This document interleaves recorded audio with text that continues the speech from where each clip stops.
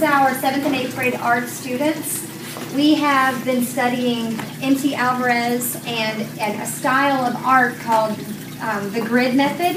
A lot of y'all asked me, why does he paint the faces blue? He said that it's because the blue is represents um, innocence, and he loves to draw the, the picture of the women in an innocent state. I love the style that he did, and um, it was a little easier because it had just the basic colors and the basic shapes my students. Individually, if you look at every every square, you can see how um, the students all look at art differently.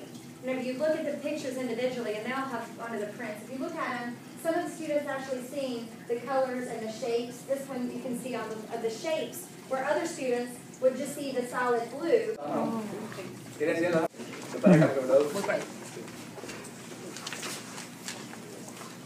¿Es de la misma serie?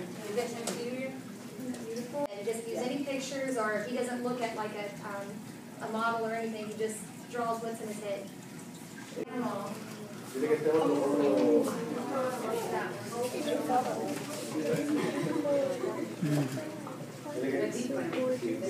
His daughter to me. The six-year-old, isn't that sweet? me dijo, tira foto cuando se la-